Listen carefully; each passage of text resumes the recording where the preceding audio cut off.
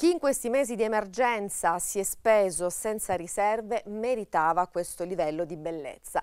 Con queste parole si è espresso Michele Crisetti, sindaco di San Giovanni Rotondo, a conclusione del concerto di musica classica tenutosi martedì 25 agosto al Parco del Papa San Giovanni Rotondo. Una serata di musica dedicata agli operatori sanitari, alle vittime del Covid e ai loro familiari, voluta e promossa dall'amministrazione comunale della città di San Pio. Ad interpretare grandi classici della musica lirica il basso maritono eh, Matteo D'Apolito, il soprano Marica Deletteris Franchino, sul palco l'orchestra sinfonica Suoni del Sud diretta dal maestro Renata Russo.